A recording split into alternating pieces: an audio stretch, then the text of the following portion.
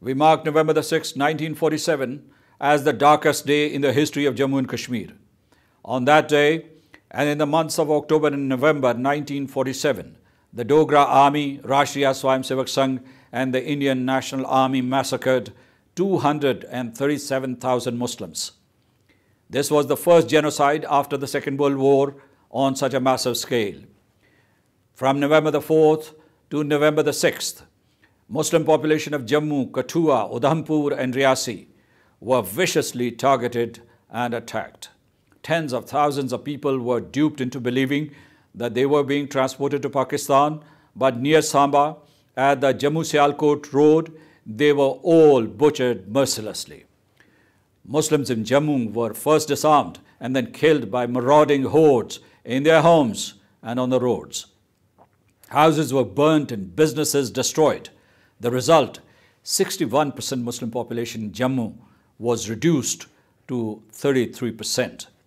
The Times of London at that time verified that 237,000 Muslims were exterminated in Jammu. The editor of The Statesman, Ian Stephen, in his book Horned Moon, confirmed the murder of more than 200,000 Muslims in Jammu. Horace Alexander confirmed consent of the state authorities for these operations. Ved Bhasin, a journalist who witnessed the massacre, confirmed these killings and the absorption of the genocidaires in the occupied state's cabinet and state apparatus.